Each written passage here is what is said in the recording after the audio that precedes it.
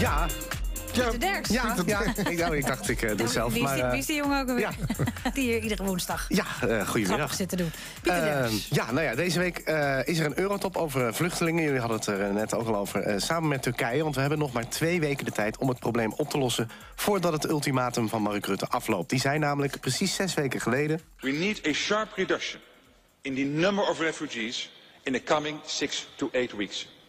So it's both logical and necessary that we devote a lot of time and energy to the refugee crisis in the month ahead. That is a priority and the Netherlands presidency will give it as much focus as possible. Ja, ik vind het niet zo grappig als de conferentie ooit. Je merkt ook dat ze in Europa die humor nog niet helemaal begrijpen. Maar de boodschap was duidelijk. Half maart moest het probleem zijn opgelost. Ik zou heel graag zien dat het lukt. Ik begin er inmiddels ook wel genoeg van te krijgen. Je kan op zaterdag nergens meer normaal winkelen... zonder demonstranten met varkensmutsjes tegen te komen. Dus alleen al daarom is een oplossing hard nodig. Maar ja, hoe? We hebben al van alles geprobeerd. We hebben een extra bootje voor de kustwacht gekocht. We hebben ruim 100 vluchtelingen herverdeeld. We hebben geld aan Turkije gegeven. Klaas Dijkhoff heeft alle vluchtelingen een brief geschreven... dat hij echt super lang over een formuliertje gaat doen. Maar geen van deze rigoureuze maatregelen heeft geholpen. Eigenlijk ook wel logisch, want het is daar oorlog. We moeten het probleem een beetje fundamenteler beschouwen. Er is maar één reden waarom al die mensen hierheen komen. Het is hier beter dan daar. En zolang dat zo blijft, zullen ze blijven komen. Dat probleem moeten we oplossen. Dus we moeten ofwel zorgen dat het daar beter wordt dan hier... dat we bijvoorbeeld de oorlog proberen te beëindigen... en zorgen dat er wat te eten is. Maar goed, dat schijnt nogal ingewikkeld te zijn. Dus als de vluchtelingen echt onze nummer één prioriteit zijn... en onze main focus en we daar alles voor over hebben om ze weg te houden... is er maar één andere optie. We moeten zorgen dat het hier erger wordt dan daar. Syrië moet gewoon een aantrekkelijke optie zijn... vergeleken met Europa. Kortom, we moeten zorgen dat het hier ook oorlog wordt. Dan hebben we ze mooi tuk. Haha, dat ze in Ter Apel uit de bus stappen en denken... ruik ik nou mosterdgas? Dat ze in een sporthal in Woerden keiharde knallen horen... en dat iemand zegt, dat zullen wel weer jongens met zijn. En iemand anders, nee hoor, dit zijn vatenbommen. Oh, wat zullen ze lelijk op hun neus kijken. Als ze bij de kantine van het AZC komen... en alleen een paar ingedroogde bloembollen zien liggen. Als ze onze vrouwen willen grijpen... en de een of andere frontsoldaat is er al voor geweest. En we hebben IS ook meteen een mooie hak gezet. Want als de NAVO zijn wapenmagazijnen opengooit... en de hele Europese bevolking elkaar uitmoordt... gaat niemand die paar heikneuters met Kalashnikovs überhaupt nog opmerken.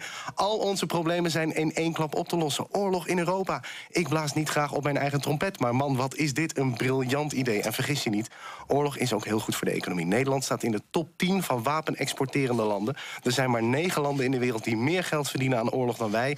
Dit wordt een enorme klapper. Nog los van de enorme impuls die de retail gaat krijgen... door de verkoop van bijvoorbeeld boekenkasten.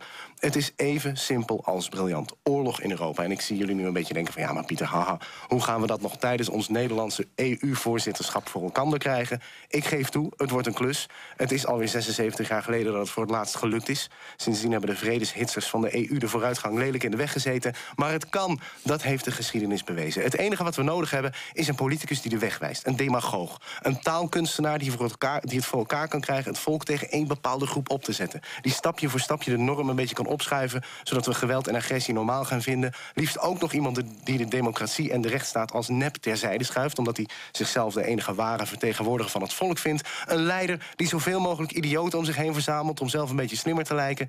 Iemand die het liefst helemaal in zijn eentje de baas is. Zo iemand moet te vinden zijn, jongens. Kom op, het mag best een beetje een excentriek figuur zijn. Een raar accent of een gek kapsel of iets, geen enkel probleem. Als hij ons maar langzaam kan leiden naar het idee... dat oorlog de enige oplossing is. Als we nou toch zo iemand zouden kunnen vinden... dan draaien al die vluchtelingen beteuterd weer om. Sterker nog, dan vluchten wij dadelijk ook allemaal daarheen... met miljoenen tegelijk. En dan gaan we daar hun banen, hun vrouwen en hun huurwoningen inpikken. Ha, dat zal ze leren.